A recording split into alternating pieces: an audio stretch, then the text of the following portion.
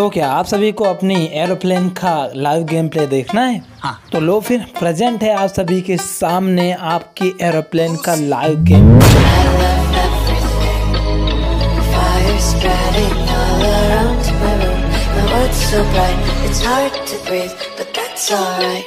जब मेरे साथ थी वो मेरी खास थी वो मेरी शूटर मेरा नशा मेरी घास थी वो। मनाली मनाली कव्वाली कव्वाली वो दिखती माधुरी।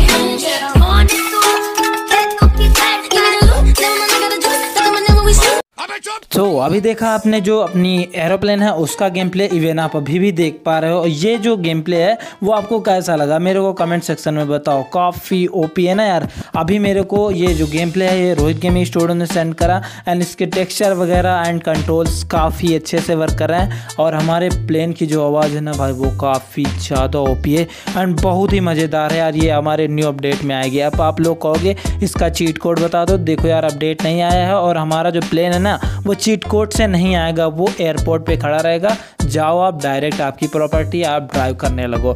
और गाइस जब भी अपडेट आएगा, कोई भी नॉलेज निकल के आएगी, मैं इससे रिलेटेड आपको वीडियो बनाकर ज़रूर दे दिया करूँगा। फ़िलहाल, आज का वीडियो बस यहीं तक था। आज आपके कमेंट्स का शॉर्ट आउट नहीं दे पाऊँगा। फ़िलहाल नेक्स्ट वीडियो में दूँगा। आप मिलते हैं नेक्स्ट वीडियो में।